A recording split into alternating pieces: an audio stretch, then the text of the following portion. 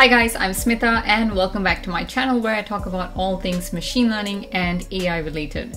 Today is day three of the 100 days of ML challenge that I've started. If you guys don't know what that is or if you're just brand new to my channel, check out day zero, which I'll be leaving in the description box below as that will help guide you in this challenge. With that being said, let's get into it.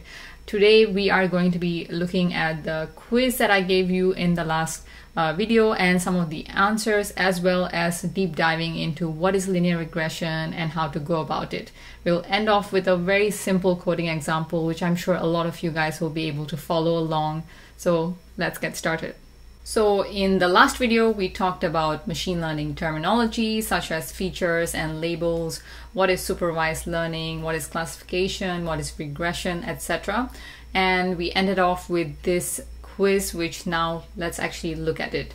So it was Suppose an online store wants to create a supervised ML model that will provide personalized shoe recommendations to users. That is, the model will recommend certain pairs of shoes to Marty and different pairs of shoes to Janet. The system will use past user uh, behavior data to generate training data. Which of the following statements are true? Uh, before I actually reveal the answers, let's look at some of the answers that you guys left because a lot of you commented with answers of your own. So Akansha says, uh, shoe size is a useful feature because it will help in recommending shoes which are available in the user sizes. And I think that's a really good answer. That's definitely true. Uh, the other thing she also says is that shoes that a user adores is a useful label because it would be useful to predict what shoes users would adore. Uh, Akansha, that's actually a pretty interesting answer. One thing that I would like to ask you is how would you measure something like adoration? So shoes that a user adores, it's a really hard metric to measure because it's hard to measure adoration. It's hard to measure how much you like something. So that's actually pretty hard to measure. Uh, let's look at another answer by Suraj Krishnamurthy. Uh, Suraj says shoe size is a useful feature and the user clicked on the shoe's description is a useful label. The others are too subjective. And thank you for your videos. Uh, thank you for your comments, Suraj. So let's actually look at the answers. A lot of you guys all agreed that shoe size is definitely a useful feature. And that's definitely true. What about the user clicked on the shoe's description is a useful feature? That is also true. Users probably only want to read more about those shoes that they like.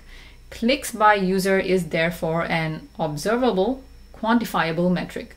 So the keywords here is observable and quantifiable. So like these other features such as shoes that a user adores and shoe beauty, these features are not exactly quantifiable and easy to measure. So these features are actually really difficult to measure and it's probably not that useful of a label. So guys, in the last video, we talked about linear regression and I gave you an example of a recruiter who is trying to determine the salary of new employees by looking at past data of existing employees and their salaries. And the only variable that we were looking at were number of years of experience. So let's actually see how we can solve a really simple problem like this. And since the recruiter is only looking at one variable, which is number of years of experience, the equation for this linear regression problem is very simple.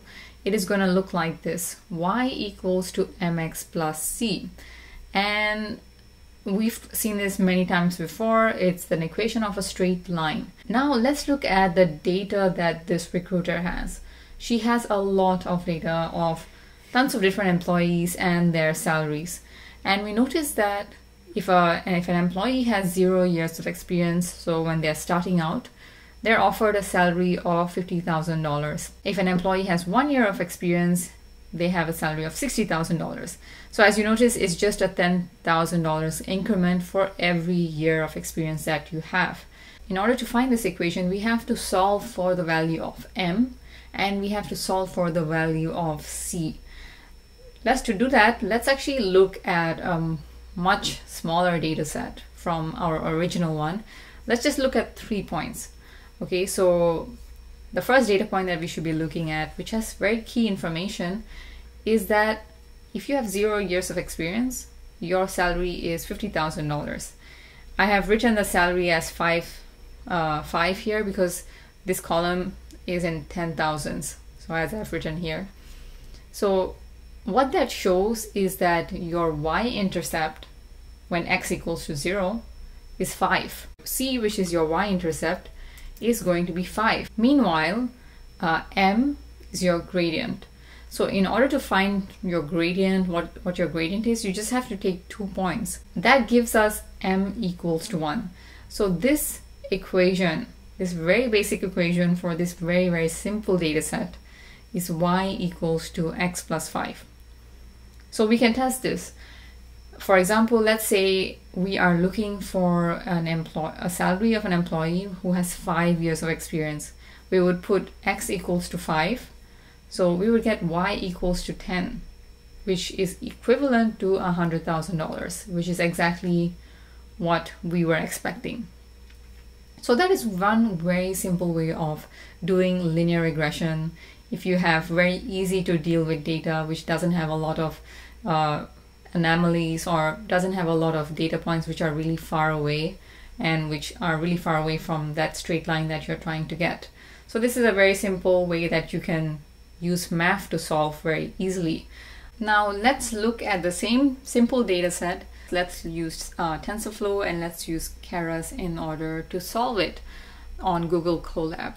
It's going to be much more simple and uh, it's going to be a very simple problem in general and I hope you guys are able to follow along. So guys, I've created this Google Colab file called salary linear regression. I'm gonna leave a link for that in the description box below so you guys can actually do this along with me. So in this exercise, you'll try to build a neural network that predicts the salary of an employee based on their number of years of experience.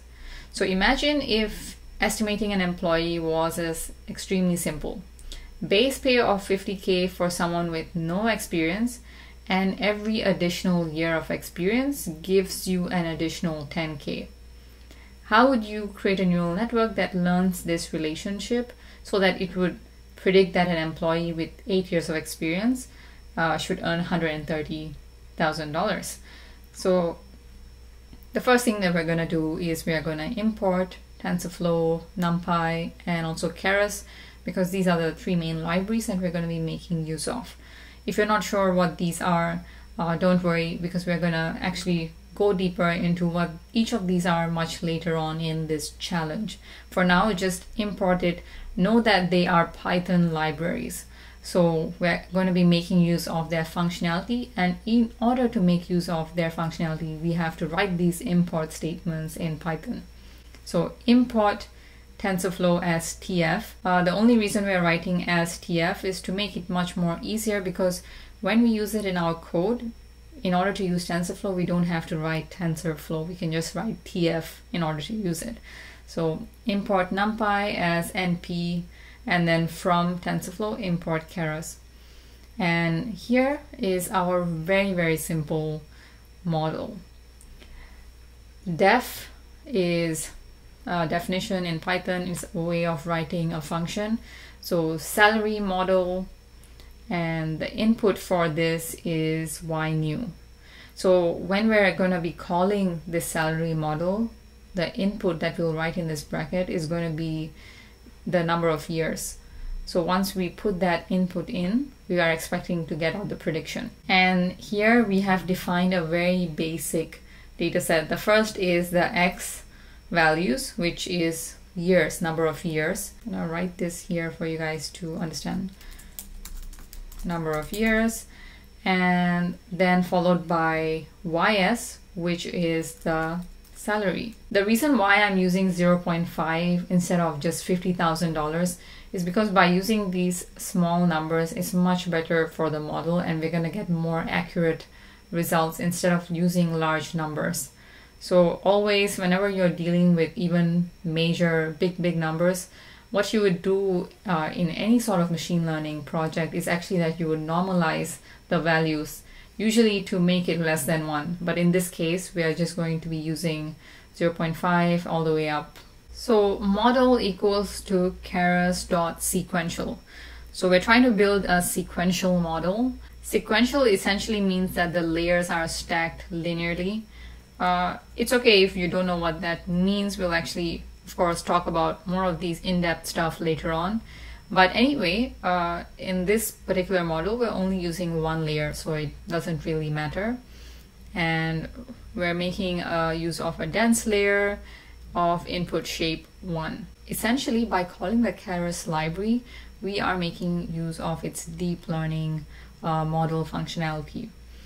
And right after that, we're going to call model.compile. And in this function, we will be listing what sort of optimizer functions we want to use and also what sort of loss functions we want to use. So we're using SGD for optimizer. There are many, many different optimizers available, which once we actually delve into deep learning, we will cover those. SGD is a very popular optimizer uh, to use. And also there's a lot of different loss functions as well. Mean squared error is one of the most basic loss functions. In model.fit, you define what are your inputs, what are your outputs, and how many epochs you would like for this model.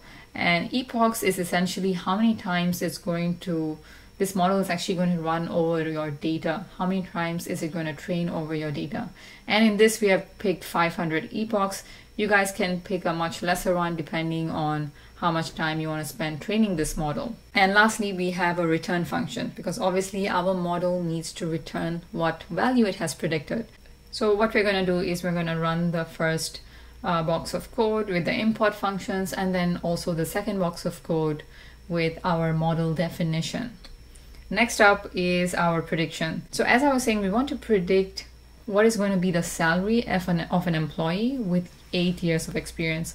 So we put in the value eight and we call our definition that we, create, we created earlier salary underscore model. So prediction equals to salary underscore model. And this is when our model is actually going to run and train on all of that data that we have entered in the previous block. It's pretty fast because we don't have a very large data set. If we had a very large data set, each epoch would take a much longer time. So obviously you can imagine that 500 epochs is going to take a tremendously large amount of time. And lastly, let's go ahead and print our prediction. So our model has predicted that if your employee has eight years of experience, you should be paying your employee $133,000. Now, you might be wondering, well, this, this, why didn't it predict $130,000? Because with our basic equation that we came up earlier, we could have predicted better. But obviously, this is a deep learning model. It's going to be predicting based on learning. So this model that we've created is very useful for data sets which are not perfect like the one we have. So feel free to actually play around, add your own type of data which doesn't fit this pattern of, uh, you know, the perfect pattern of like y equals to x plus 5. So feel free to add more data and run this and try to understand what type of uh, predictions you're getting out. So that's it for today's video guys. Be sure to check out the description box for all the links and as many of you guys have requested, I've also created a Discord channel. The link for the Discord channel will be in the description box as well, and also the homework for this video. So be sure to check out the homework, and this is going to be really a supplementary material which will help you guys in understanding uh, machine learning much better and also understanding what is going on in each video much better as well. Thank you guys for watching and see you in the next video.